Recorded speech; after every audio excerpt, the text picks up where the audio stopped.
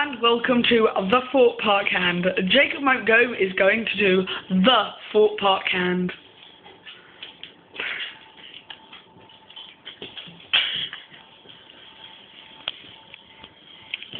That's amazing.